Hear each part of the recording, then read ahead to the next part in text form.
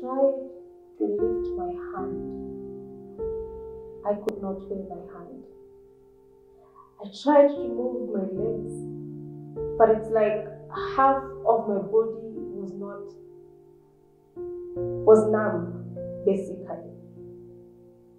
I, my entire left side of my body. I tried touching my face. I could not feel my face. I tried pinching myself with my right hand. And it's like my face was not even there. It's like I'm, I'm touching on air, I'm touching on nothing. I tried to feel my hand. I could see it, but I could not feel it. And suddenly I started feeling cold, and my body began dying. I I cannot explain to you the kind of shock I was in at that point, but it hit me that Anne, you are getting a stroke. I screamed on top of my lungs. Immediately, I had my mom come into my room. My kids came into my room wondering what was happening, and I told them I cannot feel the, the left side of my body. They tried touching me. What are you saying? You cannot feel? I said, Yes, I can't. I cannot feel my arm. I cannot feel my leg. My face, I felt like my face was falling. I felt like my stomach was falling. And I was telling them, I'm falling. My hand is falling. It's like, it's that's the only sensation I could have on my body. Like it was falling. My lip, I felt like I, I tried doing this to my face. I'm like, my face is falling. My, my lip is falling. My my ears, I feel like they're being pulled down. It's like something is pulling me down. Like my face is being pulled down, my hand is being pulled down. And the headache was still on a hundred. Like a hundred. It was about to break the bar. It was at the end of the bar. That was it. It was at the end of the bar. And they my mom called somebody who came to pick me up and I cannot remember. Was it an ambulance? this is what happens. During that time, I started losing memory. I started losing, like how I told you earlier, that I would lose memory of words and I was unable to identify which word to use to make a, in order to make a statement. Even today, I try to remember some of the things that were happening during that time. I cannot fully remember. Like I can't remember whether I was taken to hospital by a taxi or somebody came to get me. I am not sure. But I remember getting to the hospital. When you go to the hospital, now by this time, um, see, we're using a lot of money. I did not have medical insurance, so I'm paying cash. And by this time, I'm, I'm almost out of money. And I'm taken into Aga Khan. I'm immediately admitted. They check me. Uh, but still, after so many tests, they find nothing absolutely nothing. Here they, they repeated the CT scan and they also did uh, an MRI scan. But the MRI scan came out, you know, positive. Everything was, was functioning okay. They put me on some painkillers, but still. So they had to inject me with this dose. But even after injecting me, remember I told you earlier that the pain was at 100. At this time, I felt like, okay, we are at 80 now. I'm able to sit up. I'm able to drink something. After two days, they discharged me. So I went home with these painkillers and you know, they, they decided, the doctors just decided because they cannot find anything on my head, they cannot find anything on my sorry, on my heart. Because I had also had some heart um, examinations, they didn't find anything. They checked uh, meningitis, they didn't find anything. They did some blood work, they didn't find anything. And so they said, you know, you need to say, go for counseling, maybe you're stressed. But I knew, I was sure that I was not being stressed. So they they had to discharge me because there was no reason to keep me in the hospital.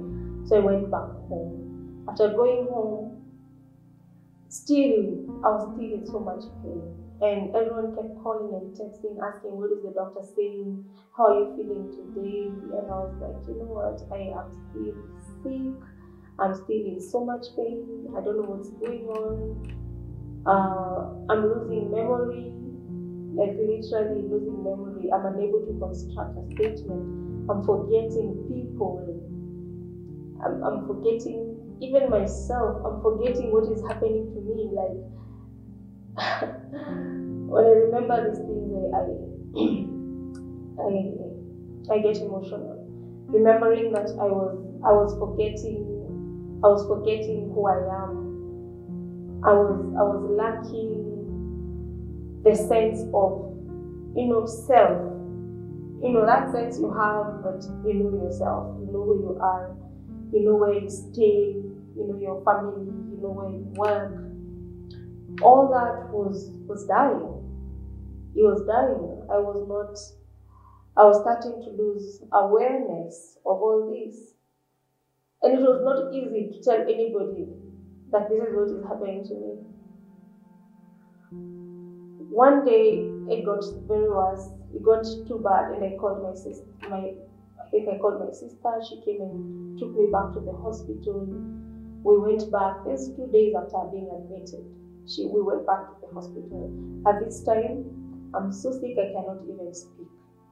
When you go to see the nurse before you see the doctor, you see there are those uh, questions the nurse gets to ask you when she's checking your weight, she's trying to talk to you. Then it was so hard for me to talk. I could just look at her, you know, because I was in so much pain. And the only thing that I could do was cry. Tears were just flowing, you know, really flowing from my eyes because of the headache. If you've ever had a migraine, you will understand. you'll understand what what I was going through and the kind of pain that I was I was feeling. When we went to see the doctor, he was surprised to see me that I'm back after two days. He asked, Anne, we gave you some very strong medication. What is going on? And I told him that the medication was not working. And I think that's the only thing I said to him. Anything else he asked, I, I couldn't. So my sister would speak on my behalf. And because she did not live with me, she had to call the people who lived with me to ask exactly uh, the, the same questions the doctor was asking me because I was not responding. At this time, the doctor decided, you know, we can't let you go. This is now a serious case. At this time, I don't have any money and I'm being admitted again. For you to be admitted, you know, at Aga Khan Hospital, you have to have a good chunk, a little bit, a little bit less than 100k. I didn't have any money at that time, so. But somebody came in through for me, uh, came put in a deposit, and I was able to, you know, get admission. At this time, this night, where when I was admitted and I my sister, the doctor asked me to get an MRV this is a scan where they check your vein, the blood vein. The your brain, they check the veins and the arteries. So that's what they did. They checked my veins on the scar on the brain, they checked veins, they checked arteries, they checked all this. Uh, this this like that was the worst day of all. It was the worst day of all. I had never, even when I was getting the minor stroke, I I had never been in this much pain like the one I was with on this day. After after the test, the doctor came back with a report, and I want to read what the report said. So on 12 May of 2015, remember this began early 2015. So now we're in May and the findings were that a 6 millimeters focus of blooming on the GRE sequence, which shows enhancement of the post-contrast image is seen in the lower pons on the right. So basically, uh, there is a filling defect with non-opacification of the superior sagittal sinus anteriorly I don't know what I'm saying, suggestive of thrombosis. Yeah. So that is what that says. And then The conclusion was the 6 millimeter pontine lesion described above is likely a brainstem cavernoma. Yeah, features suggestive of a superior sagittal sinus thrombosis. Incidental finding of adenoid and tonsillar hypertrophy for which clinical correlation is recommended. So the doctor's explanation of this was I had a blood clot in one of my arteries in my brain. And he said that the six millimeter clot was located where memory is located. So everything I have learned since birth, since my childhood, every experience I have gone through or I had gone through was located where the clot had formed. So he said that there is absolutely no way we are gonna perform an operation because the surgery would touch on where my memory is stored. And touching that would mean that after removal of the clot, then I would have to learn everything over again. I would have to learn how to eat, I would have to learn how to move. Basically, I would become a toddler again. And that is not something they would want to